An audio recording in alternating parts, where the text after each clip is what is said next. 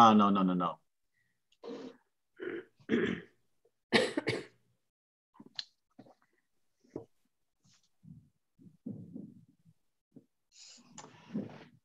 Okay, Meg. So we're live. This is our um, Mariemont Rules and Law meeting. It's 1.30 on October 8th. So we're going to get started. And uh, our first topic is going to be discussing um, allowing grills, changing our current code to allow grills on balconies under certain circumstances. So Tim, do you want to take it away? Sure. Thank you all for taking the time to uh, help me with this today. Um, just to bring uh, Marcy and Rob up to speed here, Maggie and I were kind of conversing before. Uh, back in uh, 2011 or 12, it was 12 actually, uh, we had an ordinance go into effect to uh, limit people in multi-family units or dwellings uh, from having grills on their balconies. This origin originated with uh, Windsor Square. That's where we were having some issues of people grilling on their balconies and bringing some concerns forward about you know the hazards and life safety issues that that it put forth. so we drafted that ordinance back then to basically not allow anyone to grill on their balconies in those structures, and this kind of even includes uh, some of the the old town square area too. Anything with two or more units in it is technically considered multifamily. And this applies to everywhere within Mariemont, Tim? Yes, all within Mariemont. uh, this has been brought forward because Windsor Square was really our only building that we were kind of having issues at that time.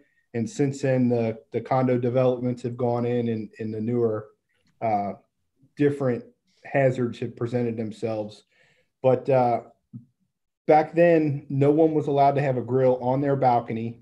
Uh, they could ha- own one and move it about 10 foot away from the building itself to be able to grill. It has to be 10 or more feet away.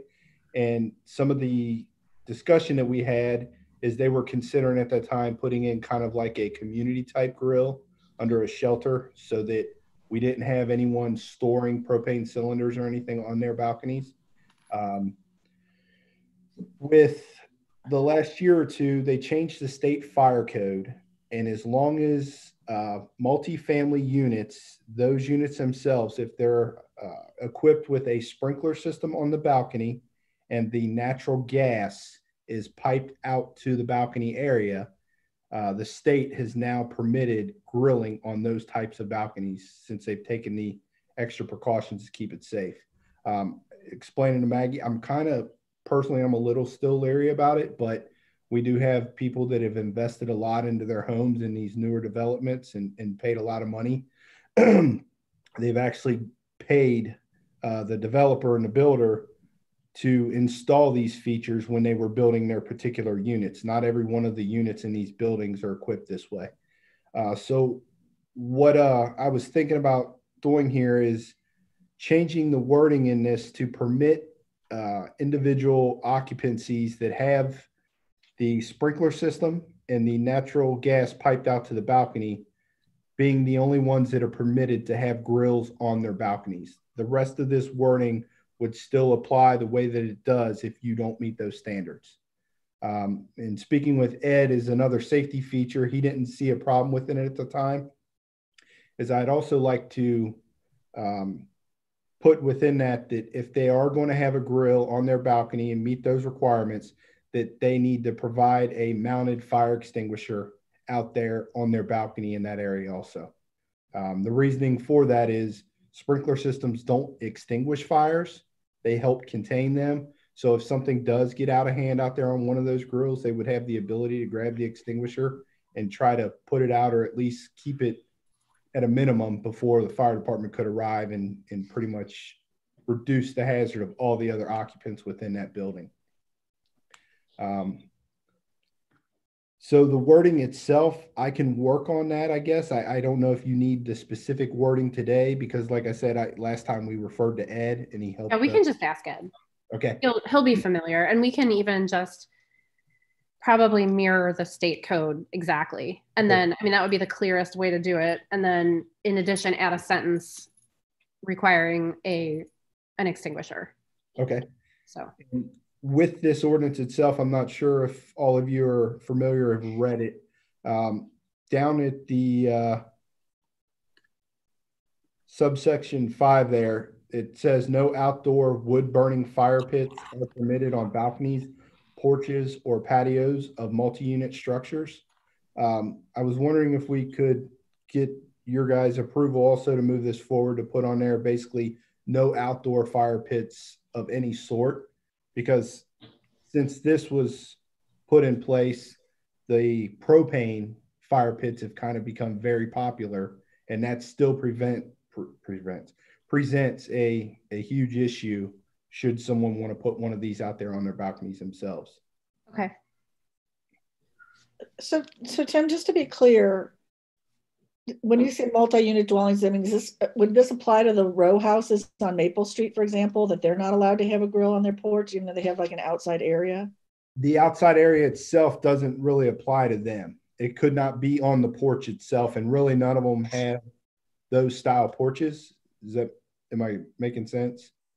It means like a porch with an overhang. So Correct. like they could be on a patio out back, but not like your front. Okay, porch with a- And then we just got a letter complaining about grills in the front yard. Mhm. Are, are, is there- is there anything in our code that says you can't have a grill in your front yard? This right here would not cover it. Uh, I'm there may be something else if if we want to look at adding that in there. I I, I don't know if those two would to, would match specifically. That's more of like a um, aesthetic issue, and this is more of a safety issue. okay.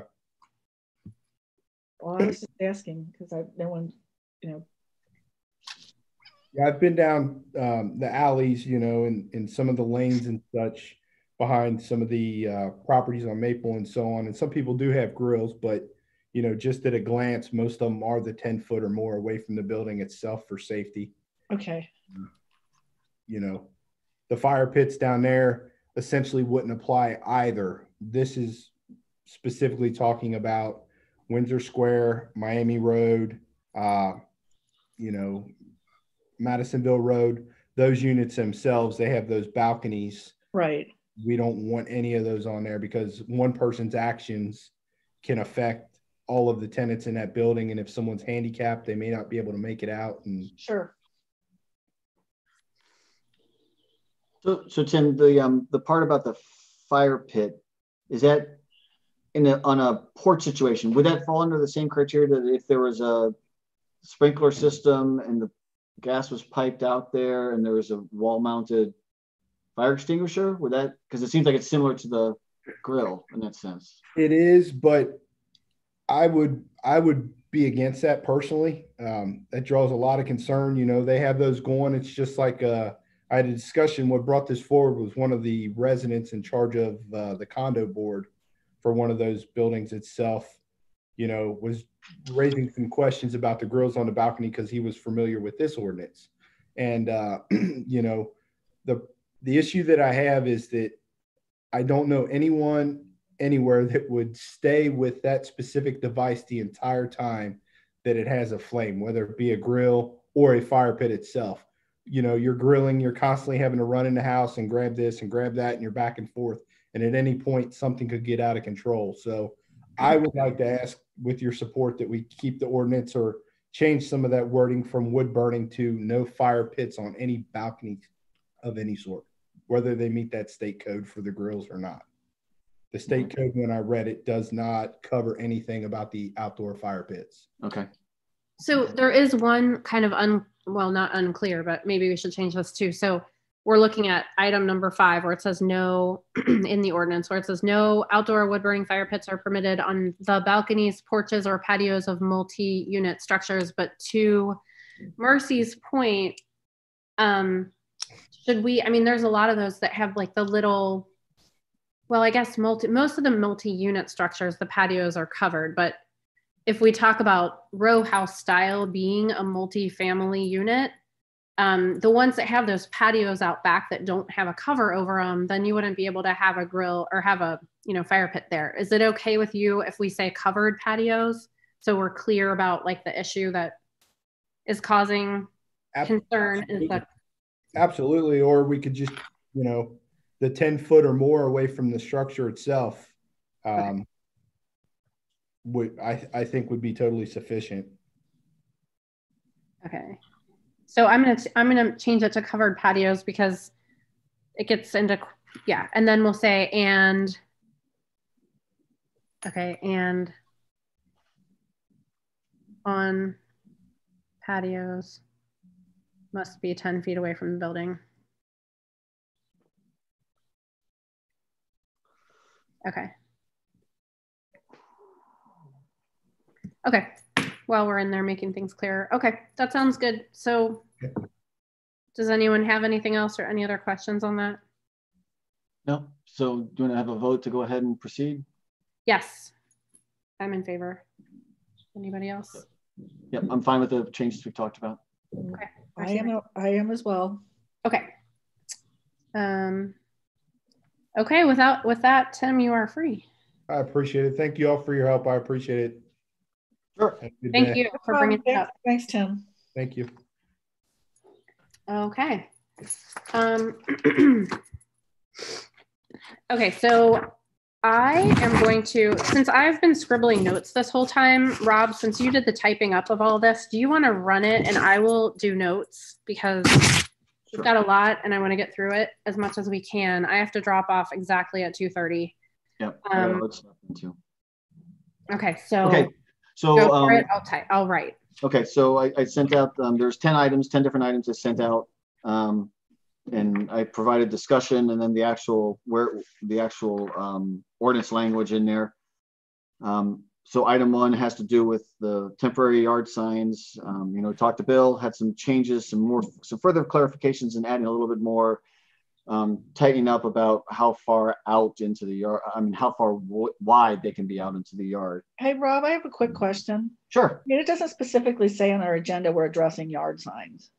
No, We're but this is addressing part- all the changes to the code book. That's Yeah. item. But I, but I just think that would be unclear to somebody who might have, I, I don't know. I just, Well, we did this before, and so I mean, we're following the same procedures we did with the other stuff. And and again, there'll be a committee report that people can have that can read and stuff like that. So, um, is there? So again, I sent this out in advance. I shared the current language and then the proposed changes. Any comments, suggestions? I did not include anything about the 60 days. I figured let's talk about this part first, and then we can talk about the 60 day if there's we want to have a limit on how long they're in the yard separately. um, shall not be placed. Yeah, I, I'm completely fine with this. I get it. I, we hadn't really thought through, I guess, every possible permutation of where you could put yard signs and how many and all that sort of thing when, how many people would try to put out when we discussed this last time we made changes to this um, piece of code. And then we've had discussion and complaints from people since that time. And so this really just tightens it up just a little bit. And I think it's fine. It's useful. It's not overly restrictive and I'm in favor of it. Marcy, any thoughts? I just, I just would like more notice than a couple hours to be able to like look through these things and think about them. You know, and what, especially when on our agenda, it do- it doesn't specifically say that these things are going to be addressed. You know, I read read it when you, after we talked. Um, I was doing other stuff this morning. And now I'm, you know, I'm looking at it on my phone because I didn't print it out and it's hard to read and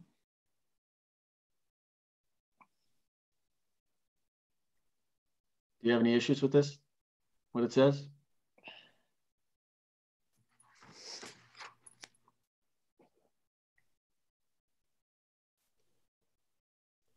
Again, all, all it actually clarifies that again, there was some language in there that I think was not, it was made it confusing. So it just makes it simpler in terms of being back 15 feet. There's only, there's only two changes here, Marcy. It's really not that challenging. It's just, okay, that really wasn't warranted. Well, it's just, it's, so it's again, all you have to do is it has to be back 15 feet from the curb unless there's an exception, and then it can't be outside the width of the house. Those are the two changes that are there.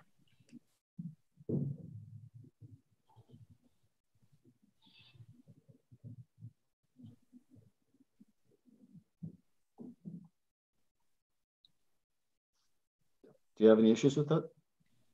I, I told you what my issue was. I know, but uh, so do you have any issues with the two changes?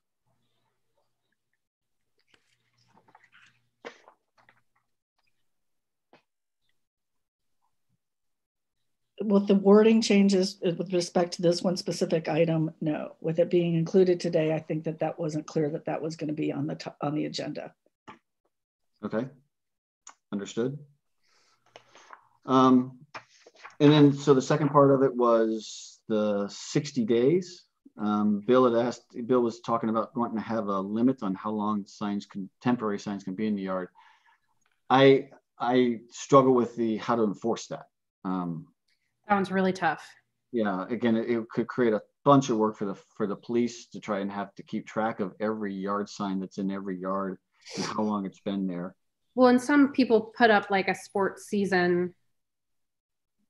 I know it's frustrating to have something up forever, but you know, if your kids playing lacrosse and it's a long season or whatever. I don't know what the lacrosse season is. That was a random example, but I mean, I don't know. That's tough to have the police checking on that kind of thing.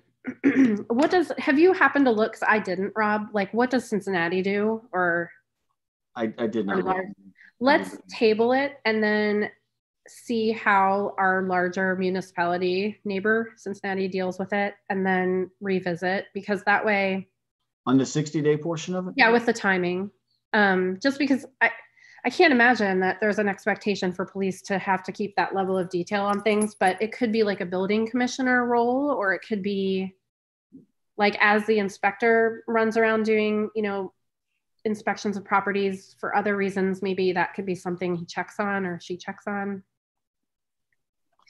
Okay.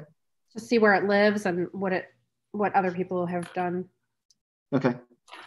It- Um, it is it is possible to do that. The, the um the the language, you know, we had a template for this from the what is it, Little Miami Risk Association or something like that. So Yeah. it is possible to put it in place. It just I, again, it's more to me, how do you enforce it? Right. That's and again, like our big thing that we've talked about for the last 18 months has been let's not have rules that we don't enforce or we only enforce them on some people when they, you know, aggravate us or something. And that's not fair. So Right, right. make one of those.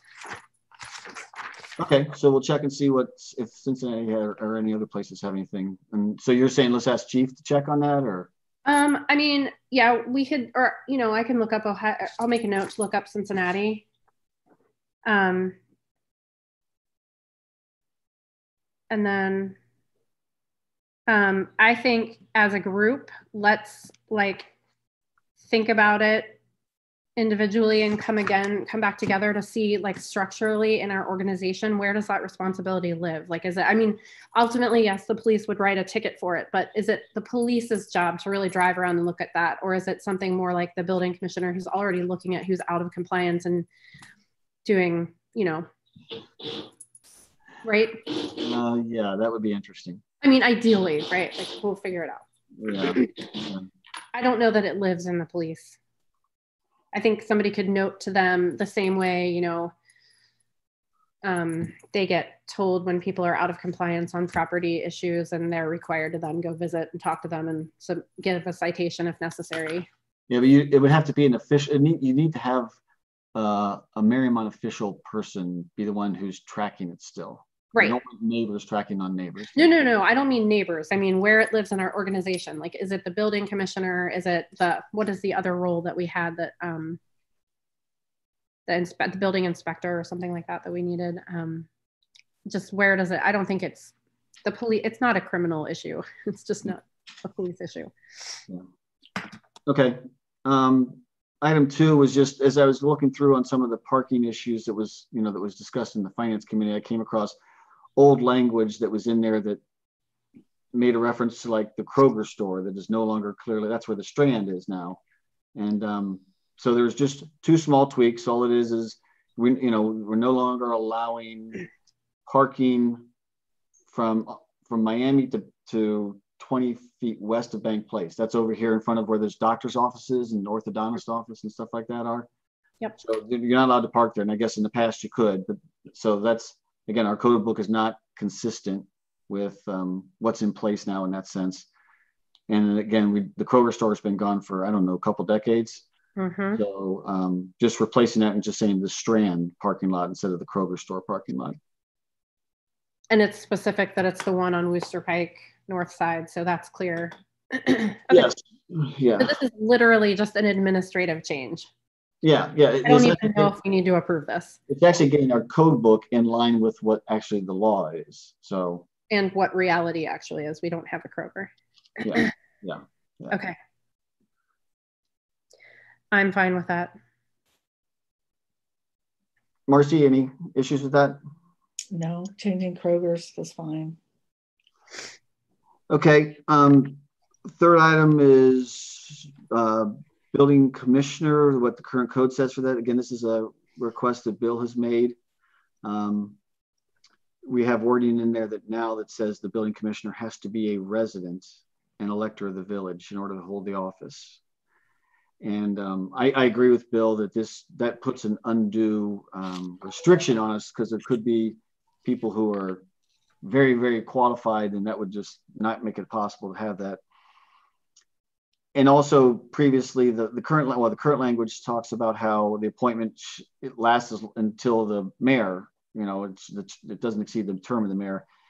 And you know, we have now fiscal officer, village solicitor, village engineer. We have a bunch of appointments that we do every other year, and it seems odd to me. And, and again, Bill agrees. It's like why would why would we make this change when there's change in mayor? You have to go potentially change your building commissioner. So um, this would also get on the same kind of a two-year cycle as our other appointed officials that we have. So any questions or concerns about that? No, I think it's fine to make that consistent. And it is going to make it nearly impossible to find someone who can be our building commissioner if we don't start to expand it. Marcy, anything? You know, I just, like I said, I, I just, it, I just don't feel comfortable discussing things that weren't explicitly laid out on the agenda. Okay, got it. Um, item four, this was actually talked about at the previous meeting we had. So um, if you recall, we had a meeting before and we made a report and Bill asked that we go back and provide better explanation. Um, so this is just providing the explanation. We've uh, actually already reviewed item four and approved item four in a previous meeting. And so this Yeah, and is- I think we actually, I think I did submit, I'm looking it up right now, but I think I did submit, there were two items out of like nine that we were fine voting on and moving forward. And I am 99% sure this was one of them and it just somehow didn't go anywhere. Um, but go ahead. Yeah, so again, I'm just, and so again, this was discussed in a previous meeting. This was actually submitted as part of the report. The total report was not accepted. There was just two items out of the report. So this is just trying to, you know, if we're gonna go back and provide an official report with an explanation, this is to help provide that explanation for making this change. But again, we've already discussed this. We've already voted on it in the past. So I think this is just really again, providing the, the explanation that can go into the meeting notes. I, item five is the same thing too. We did this. We just we talked about this one before as well. Um, Oh, and this one was accepted. I just found my report. So we, they accepted the dog and cat warden. to remove to remove dog and Yeah, cat. this is already done. So we're done with this one. It just didn't move forward because I think we were going to put everything back through once we discussed the other issues. So yeah, because we haven't we haven't voted on. You, you're saying let me make sure I clear understand. Item five and item six are things that we that were part of the report that were accepted by council previously, right? Yes, so item five, um, yes, was accepted to remove the following section, dog and cat warden.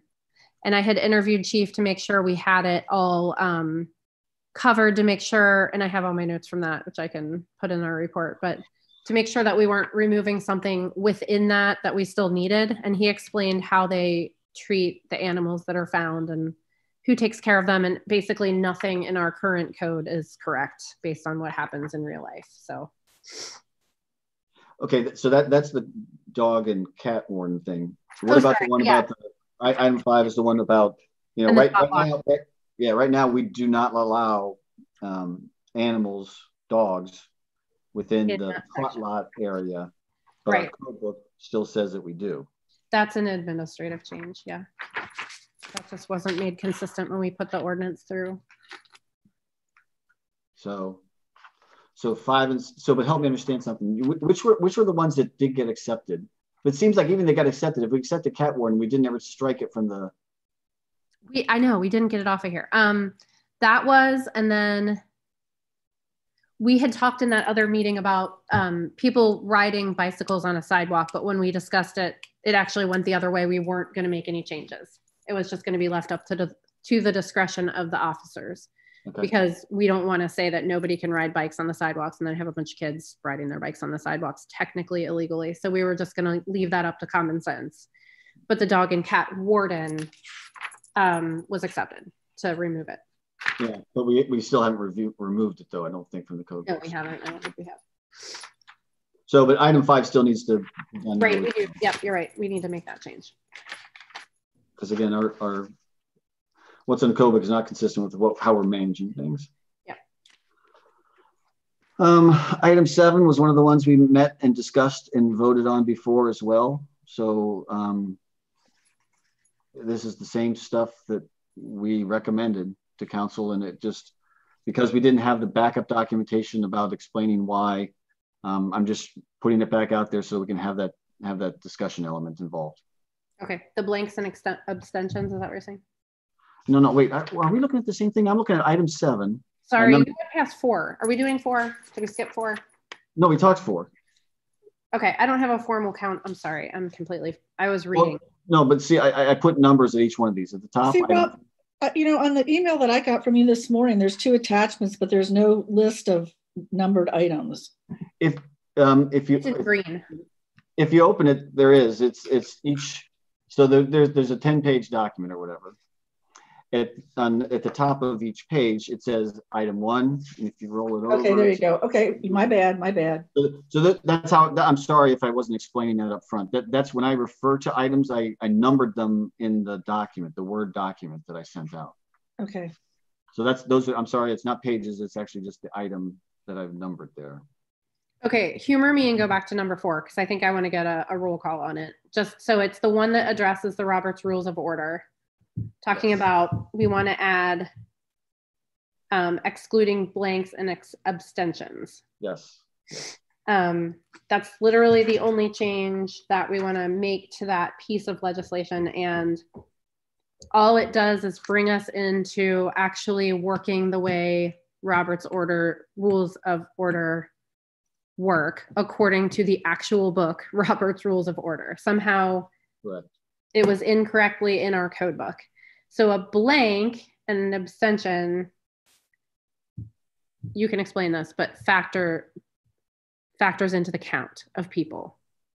T- today, and that's not consistent with. Right. Robert The way it should be. Right. And our, our code book says we're supposed to follow Robert's Rules of Order. So it's just, again, this is getting, we have two inconsistencies within our code book. We say we're following Robert's Rule of Orders, but then the, the, how we're measuring votes is not consistent with Robert's Rules of Orders. So this is trying to get the two consistent.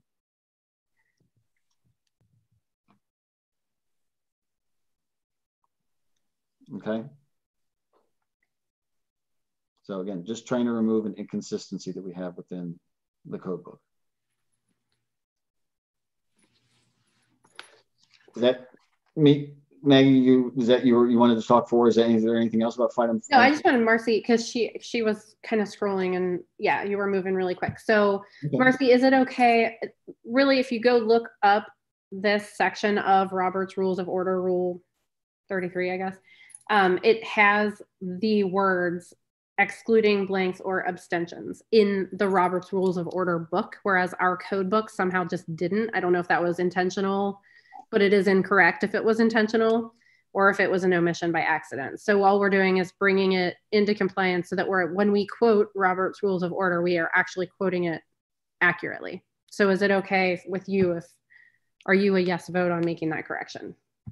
um, yeah, I am. I mean, we, we talked about this before. Right. Okay. Okay, can we go on that? I'm sorry. I didn't mean to be That's right.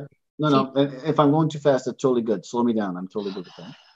So item five, again, this is getting consistency because we talked this before in our previous committee meeting and, you know, all, we recommended to go ahead and make this change because all it's doing is what's currently in the code book is not consistent with how we're managing the area in the top lot.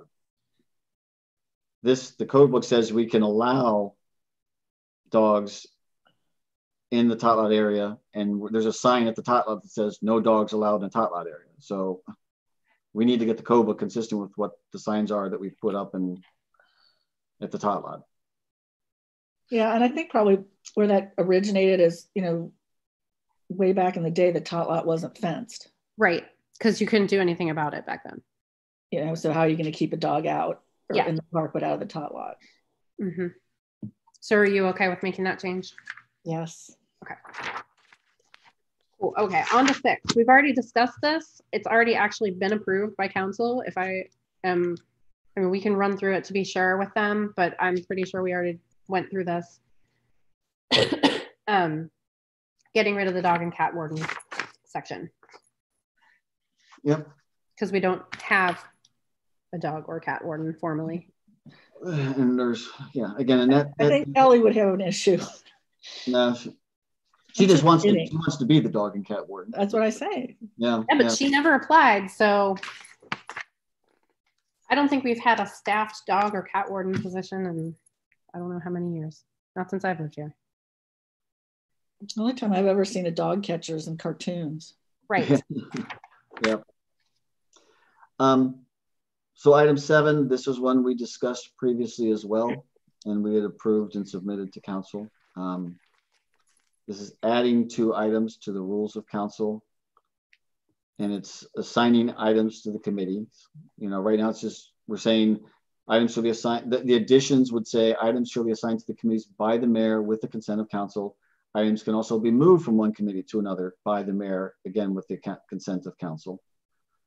Um, and then the other one is any special committees or commissions created by the village shall be voted on and approved by council. The charter shall also be created, laying out clear responsibilities, deliverables, and any desired timelines. Any commission, committees or commis- commissions that are temporary should be called out as such. So those are, again, we, we discussed these before, we approved these before, it's just resubmitting them to, to council to vote on.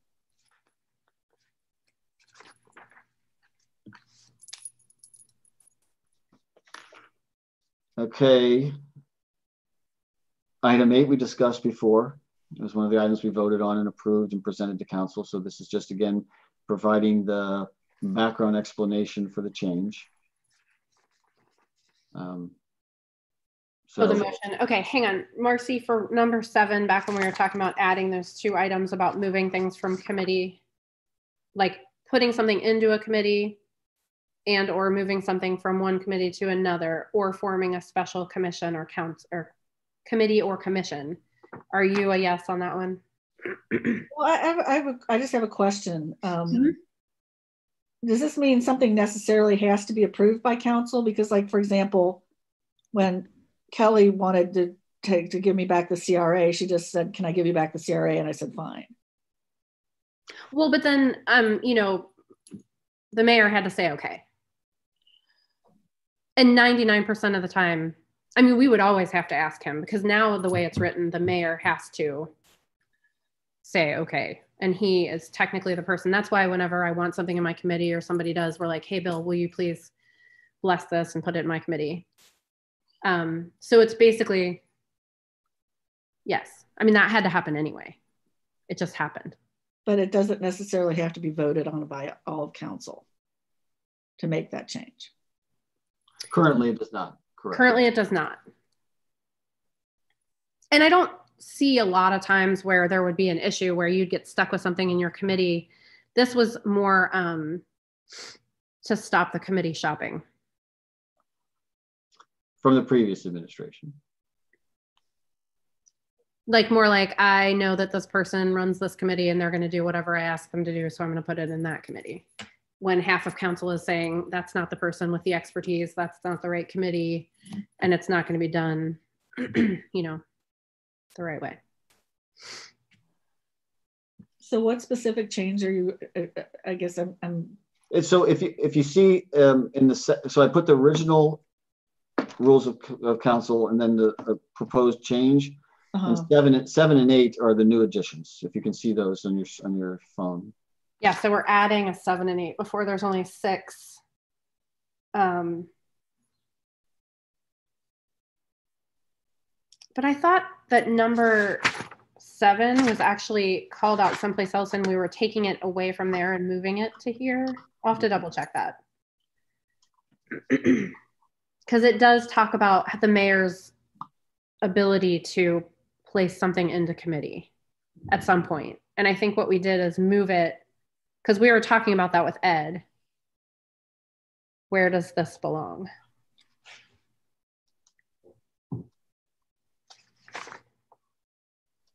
I don't have my whole list of rules of council with me. I should. If a motion is required to put in writing that it can be done right then and there. You, oh, you're you're actually Marcy. You're you're reading um, number Like eight. eight, yeah. Yeah, that's eight. We're we're talking about seven right now. Just FYI.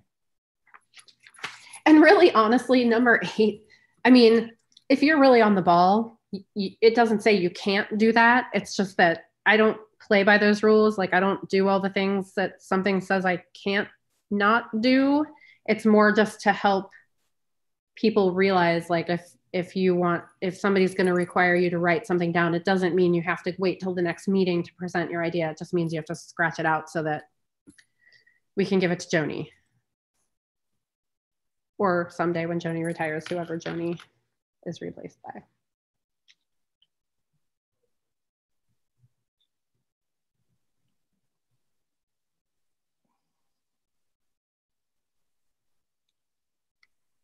So you're saying you want to do a formal vote on this?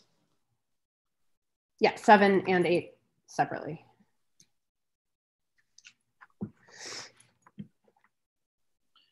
I Seven, mean- is just, seven is just assigning things to committee. Eight is any special Right. commissions. So Yeah. two different things actually. Well, okay, sorry. Yeah, seven and eight in the in item seven, we'll vote on together.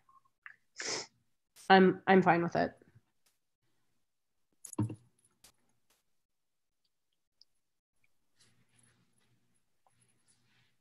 So we're voting on both together or we're just voting on seven and then we're voting on eight? So no, we have for item seven, which Uh-huh. is adding those two new rules of council. That's getting really really confusing because they are rules number seven and eight. Yeah. Vote on those together. So items shall be assigned to committees by the mayor with the consent of council. Items can also be moved. Blah blah. Hey, then- I just want to make sure I understand what I'm agreeing to. Yeah, and then the I don't feel like I got adequate time to prep. Okay. So number eight that we're voting on with seven is any special committees or commissions created by the village shall be voted on and approved by council. A charter shall also also be created, blah, blah. So those two we're voting on together. I'm fine with those two changes. Rob, are you fine with those two changes? Yes, I am. Okay. and then Marcy, if you have any other questions, we can talk about that. No, it's okay. Okay. Then item number eight, sorry, I got super confusing, is another rules of council. It's rule 25. So Marcy, going back in the history of things, you can, the mayor can ask you, like if you bring up something and you want to make a motion I don't it. have a problem with this one. It- I don't either. Okay, it's just, That that makes sense. it's clarification. It's, okay. Rob, you're fine with this one, right? Yes, yes. Okay. I'm just documenting because we have so many issues. I'm going to document the, all the votes separately in case we ever differ and we need to talk about it. Okay, number nine. Okay. Number nine, again, this is where um, Ed is confirmed and he sent the response back to all of council that yes, Mar- because Mariemont is a statutory village, Mariemont has to follow Ohio Revised Code. Ohio, Ohio Revised Code said that we have to follow the Ohio Manual of Uniform Traffic Control Devices. And we've had issues in the past where council members, especially newer council members, weren't even aware. I mean, Maggie, you were part of this when when this happened before. That council didn't even know that this Ohio Manual of Uniform Traffic Control Devices existed, um, and that it should be referenced when when any kind of changes are being proposed for traffic control devices. So all this is doing is it is helping to provide guidance for council if there's any kind of um, installing or modifying a traffic control device, just helping to tell council, hey, make sure it complies with Ohio Manual of Uniform Traffic Control Devices, because by law we have to, we have to comply with that. So, so this is just a preamble. And when I talked to Ed about this, he said putting in a preamble before this section would be probably the best way to, to do this. So this is following Ed's advice about where to, where to put this in to help help guide council so that we make sure we're following the law. So it's not really a change at all. It's just a clarification. Yeah, it's again, it's it's just it's a preamble. It's providing guidance. It's, we're not creating new laws with this thing at all.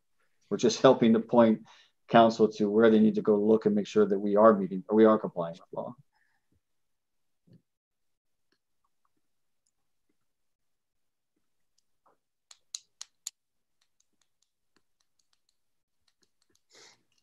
Any questions? Nope.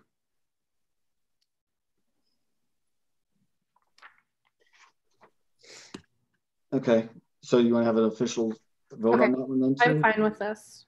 Yeah, I'm fine. Okay. Marcy, how are you? Um,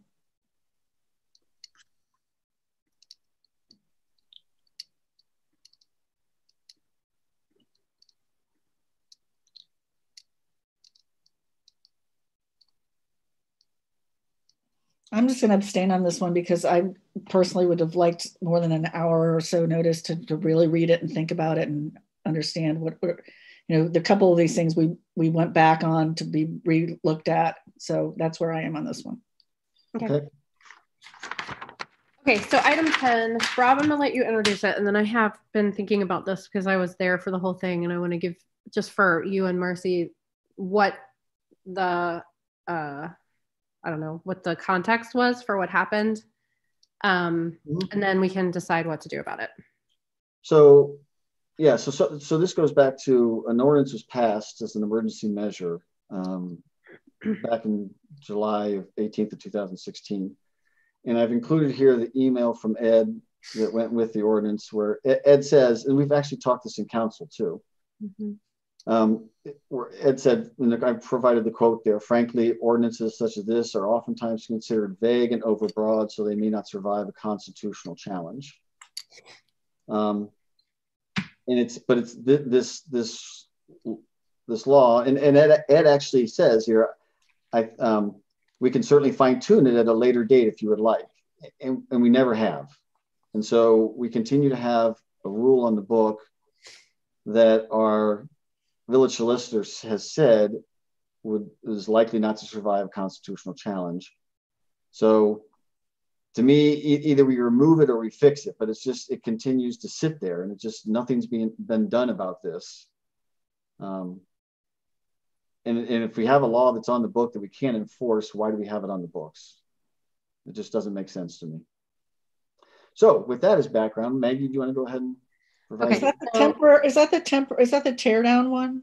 No, it's to do with um like well here that you'll you'll make it'll make sense. So it really had to do with um I think the straw that broke the camel's back was the four houses over on beach that American Heritage did. Yeah.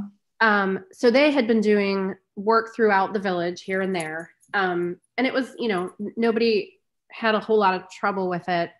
Um but I think so when they bought those homes, those are just outside the boundary of the historic district. And he did it very intentionally because he didn't want to have to go through all of the, you know, filing and working with the ARB, and it was going to be a lot more expensive. So he did it for cost reasons, which as a business person was a smart idea.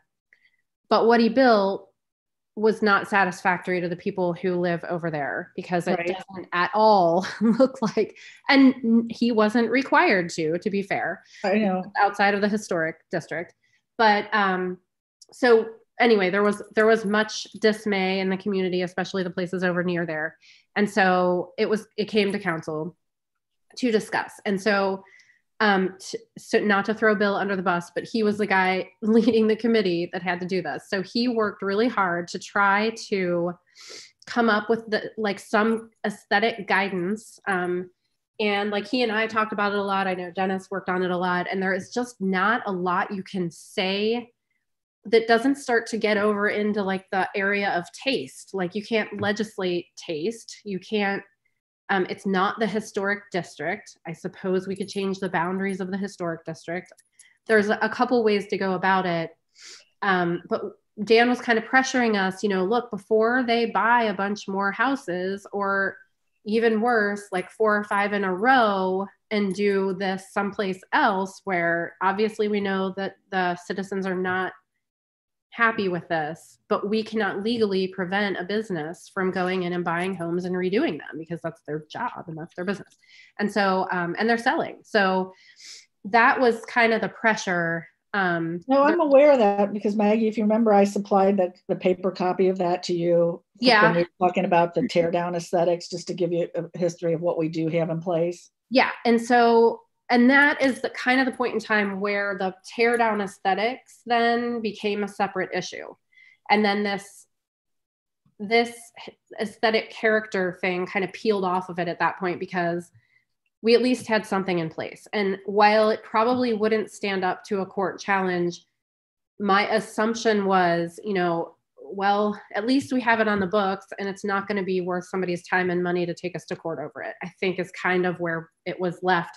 This is temporary. We know it's temporary. We're going to do better. But then, you know, other fires started and we never did better. And so, um, my sincere belief is, you know, I don't think we should pull this out of our code book because we don't have anything at all if we do that. I do think we should get to business and get this taken care of in well, the community where it belongs. Yeah, yeah. I mean, and we, you know, and here's where we are. And I haven't updated you with the whole, you know, if you remember from the teardown aesthetics, you know, we, I, I, we MPF broke that into two parts. Yeah. You know, there, there's just just right now we we discussed in my committee the demolition ordinance. Right. And per Joe's request, um, I sent we MPF MPF and I met together and we sent it out to a couple realtors and to Spin and Weber. And where we are right now on that is um, is that two of the realtors got back to us. One of them never did, and then Spin and Weber had some more questions, and we tried to clarify them, and we haven't heard back. So I need to press on that little piece and get that done. And then we are going to move into the specifics of the aesthetics that um, MPF like was recommending yeah like for and for new building for and there is a lot i guess i mean and i've been pressing bill about this is there is a lot of case law where municipalities apparently have won when they are trying to kind of keep a style consistent. Mm-hmm. you know i keep asking bill well you know then show it to me show it to me show it to me. So okay I guess I think this is being addressed, uh, albeit more slowly because of COVID than I would have liked.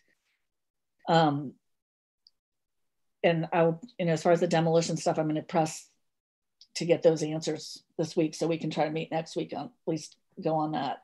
But um, or in the in the next several weeks, whenever. But um, like I said, Spin and Weber had some questions. So I, I guess I at this point I don't feel comfortable getting rid of this I do feel like it does need clarification, and I feel like that clarification is is coming. That's fine. That's fine. So I, am I'm fine with that then. If, if, if you guys think, because again, my, I just I have personal frustration because we've talked to some council prior to you joining, Marcy, and um, and it's been on the books since 2016 and and I understand. I, I totally get what Maggie said about why it was passed so quickly, and and I think there was an intention to come and address it. At least Ed Ed even volunteers to go fix it and yeah. fine tune it, is what he said. Um, I mean, none of us, to be fair, like when we took the vote, we were all squirming in our chairs. We didn't want to do it this way. We didn't feel comfortable. I don't think anybody did. But when it was put to us, like, here's the deal we can have nothing and we can lose more houses and have things put up that we don't like or we can make it a real pain for somebody to do like to take us to court for enforcing it and they're not going to spend that money. It was a discomfort. I mean it was it was gross. It was a politi- politician moment but it happened. And so now we need to do better. But yeah, because can't repeal this, this the thing that really bothers me about this current law is the way it is written. It says any change to the outside of a house Yep. has to be reviewed and, and by the building commissioner and viewed as being aesthetically consistent with the rest of the and and I know I've talked to Don about this. He doesn't want to be in that position of trying to sit there and say, does this, this and and again, it can be as little as something like putting a flower box in your front or whatever, because the way this mm-hmm. is currently written is just, and that's why Ed said it's so overbroad and general.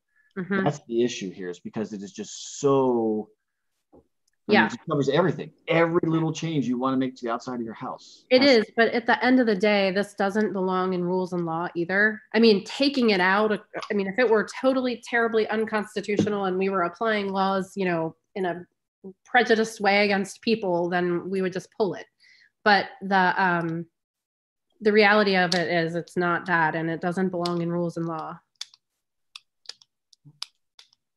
Can, can we can we put something in the committee report just you know supporting Marcy's work that she's trying to Yep. do in there and say say you know we just recognize the fact that this has been on the book since 2016 and our our village solicitor has given us his advice that this is not constitutional and so we really need to fix this Uh-huh.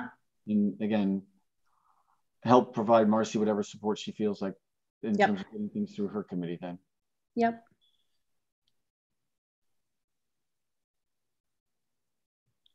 Okay, so Rob, I'm looking at this on my phone, so I apologize because I can't really read it very well. Um, and like I said, I skimmed it after we talked. Mhm. But do you have specific changes you want to make in here? I mean, because I'm looking on my phone, everything's the same color. Oh, And I can't, I can't switch to, yeah. know, so are you are you talking about item 10 now? yeah, on? item 10, spe- Yeah, no, specifically. there was no all I was all I said was I actually propose just to strike this from the from the code book because again it's not enforceable and it's, No. it's overly broad. But I, I agree with what Maggie said. It's like okay, as long as as long as we give it the attention and, and give you the support you need to get this stuff done so that we do address this this outage. That's the thing that I, Well, want. and, and, it- you know, and I, I, I do want to recognize it is a really, really sticky issue. Sure, sure. Uh, Bill Yeah. shared with me. So Bill, Bill and I have talked about this because Bill shared with me all the research he did, and it, it was it is a ton of stuff. But again, goes- again, this isn't explicitly on the agenda. You know, the agenda says updates to the code language. I'll give you that one because that's something we revisited. Clarification regarding grills, yes. Recodification of the code book, and then parking. So this specific item isn't even listed. So we're going to go ahead and we're not going to recommend that, but we're going to go ahead and make some comment about how um, you know. Yeah, I'm writing it right now. things be addressed. Mm-hmm. In their work to update. And it's it's a hard, I don't know what the answer is, you know. Oh no, I agree. But You know, that's why that's why MPF worked with that consultant to kind of come up with with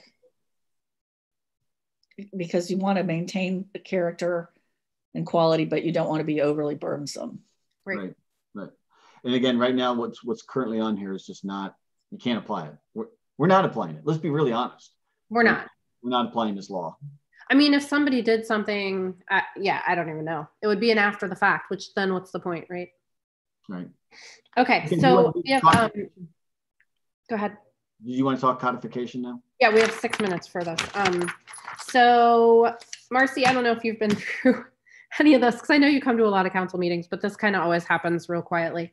So way back, I think it was 2013, maybe 2012, we did what we call recodifying. It has nothing to do with making new code or anything. It just make it, it's taking all of the ordinances that we have made since the last time we recodified and taking the pieces of paper that Joni slides into her paper binder and sending them to this company. We've used American Legal in the past. Um, and we basically give them our current, like old, outdated code book along with all those pieces of paper and where they go. Including like that one that we just said that Bill, that, that Rob wants to get rid of because remember it's not in the code book. It just exists on a piece of paper separate. Okay. Yes. All that. So yes. And so that's the so this is the drawback of doing it once every 13 to 15 years is like if you go online, you look up something, you are likely reading something that has been changed. So our citizenry is not able to access updated things. Um, you know, people who come to do construction here look up our code book. They do that as a rule and they look at it and they're looking at something that might not be real or it might be outdated. Um, and even asking Joni to go hunt something up, like I have to, before I make any changes, I always double check with her hey, have we changed this? And I just forgot. And there have been times where she's like, yeah, you already did that. so um, I just, I went to look it up and it, I looked it up online and it wasn't there. So in the past, we, um, so we fold all that together. What happens is the process is I contact a lady that works there and I tell her we're Mariemont, we're ready to do this. They are familiar with us. We have an account. They know what our, they have our old code book. They're the ones that gave us the online version and she will give us a menu of things that we can do um, and various prices. So, like, we can do it only online, we can get a bunch of printed out copies. Um, they last time I talked to them, and this is, I'm sure this has evolved since then, but they had some sort of rolling deal where you could get only online, but updated every two years. Like so they would fold your fold your stuff in for you every two years and it was way less expensive but it was like an ongoing thing.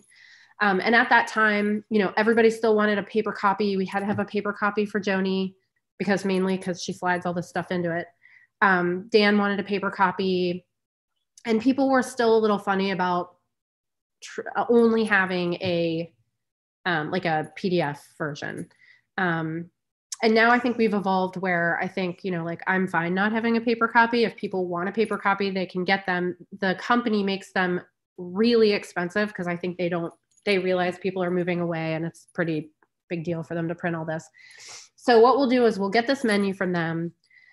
We'll call a date like, hey, you know, this is where we're cutting off everything that happened before this date is going to American legal. Everything that happens after this date is not. Um, and then what it takes them quite a while because we have amassed a lot of junk in the last 14 years. Um, and they roll it all up and they give it to us. They do a consistency check, they make sure it's legal. They reference the Ohio Revised Code back and forth to make sure that hasn't changed, and they will make those changes in our code book. And then they send us back a copy. We are responsible for reviewing it. And then I sign a paper as the head of this committee and then we're off and running and it takes them however long it takes them to print out the number of copies that we need and get it all together and send us the pdf and let us post it on our website. So that's the process. Um, we were going to do it last year and we decided for budgetary reasons to push it. And we think that, I think Tony said that the, the CARES money will help us pay for this. So that's why we're a go, even though we're in the middle of this weird time. And, and then going forward, we, we, Joni has said going forward, we really should do this on an annual basis. The cost will not be as much if we go ahead and keep more up to date on this stuff. Right. I mean, it was in 2012 or 13, it was like $8,000 or $15,000. I don't know. It was pretty expensive. But then they were like, you know, guys, if you did this every two years, it would be considerably cheaper. And so Dan was like, well, I'd rather pay a bunch every so often than, you know, every single year. But I think, you know, now that people are really accessing code online, and I think it makes sense to give them updated code and us too. Well, how much does it cost? Well, we'll find out because I'm sure prices oh. have changed. Um, it's going to be in the ten to fifty thousand dollar range. So, what I guess what is your specific question proposal about recovery? I'm not really. I'm just letting you guys know we're gonna. I'm gonna make that call and get them. So you'll be in the conversation about like when they send us this menu. We'll talk more about. Okay. What we want, and Joni's a big piece of that too. So this is just more informational type stuff. Yeah, I just want to let you know. Okay. So when I send you this, you're not like, what is this? so, okay, well with that, it's 2.30, so. Yep. All right, thanks. Okay, Mike. sorry, I got a meeting I got to run to, so sorry about that having to leave, but thank you. Thanks for setting all up, Thanks. See you later. Bye.